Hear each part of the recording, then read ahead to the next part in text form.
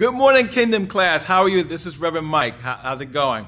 I just want to let you know, uh, first of all, just how much I really appreciate and enjoyed uh, last Tuesday's meeting. We went over the first part of the uh, Kingdom Dynamics. Um, Apostle Fenton identified 14 of them. Obviously, they're, they're in too many to number.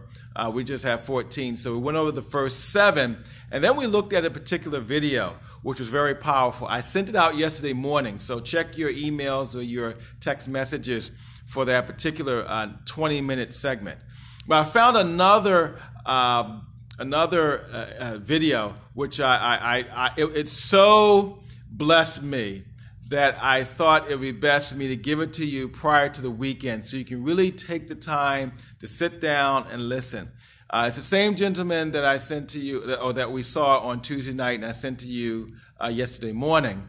Um, but it's at his home church. He's actually the pastor of Bethel uh, uh, Church in California. It's a very large church. As a matter of fact, out of his church is a very flourishing uh, praise and worship ministry. Uh, but this particular gentleman, particularly the topic that he's going to talk about, it has to do with when heaven invades earth. He made uh, a little mention of that in the video clip we saw on Tuesday night, which I sent to you yesterday. But what I want to send to you now is actually a full uh, message on uh, the topic when heaven invades earth.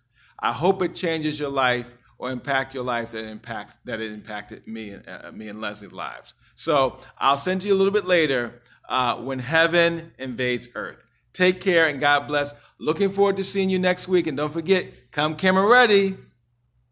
That way, when I ask you questions uh, or we do the testimonies, you'll be ready to go. So take care and God bless.